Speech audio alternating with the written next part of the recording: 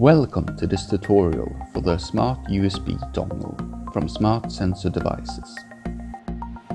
My name is Emil Lindblom, software developer at Smart Sensor Devices, and I'm going to help you get started using our Smart USB dongle. In this tutorial, I will show you how to identify which COM port your dongle is using, how to get started using the dongle with a serial communication program, and finally what you need to get started using our example scripts. What we will need for this tutorial is one smart USB dongle with the latest firmware, a computer with at least one USB port. For this example I will be using a computer with Windows 10 installed. First connect the dongle to the USB port of the computer. To make sure that the dongle is connected and correctly identified by the computer, you can open up Device Manager and look under Ports. The COM port number assigned to a newly attached smart USB dongle might be different than the one shown in this example. You should see a COM port pop up for approximately 10 seconds, after which it switches to another COM port. This is the included bootloader starting up and closing down, which allows you to update the firmware.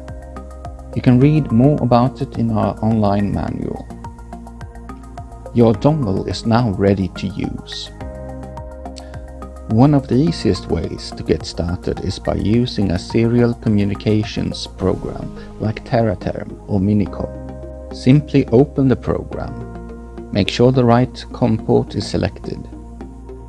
Choose speed, then press OK. You can now start typing AT commands.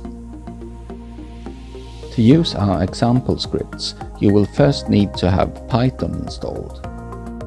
There will be a link in the description on how to install Python. To download the scripts, either go to our online manual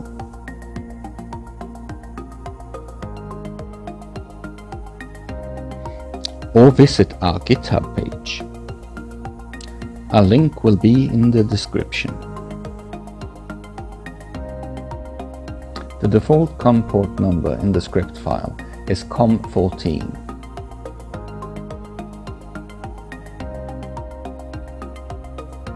If this isn't the same as the COM port your dongle is using, you must first go into the script file and edit it.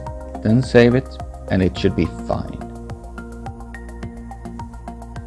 Then simply open up the command prompt in the directory where the script is located.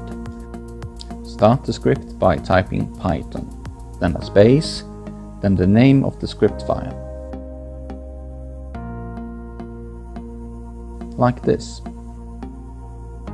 For more information about using our scripts, please watch our YouTube script tutorials. That concludes this tutorial. For more information and tutorials, be sure to visit our online manual. Thank you for watching.